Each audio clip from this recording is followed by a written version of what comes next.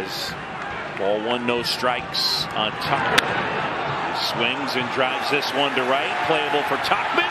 Ball game. Cubs win.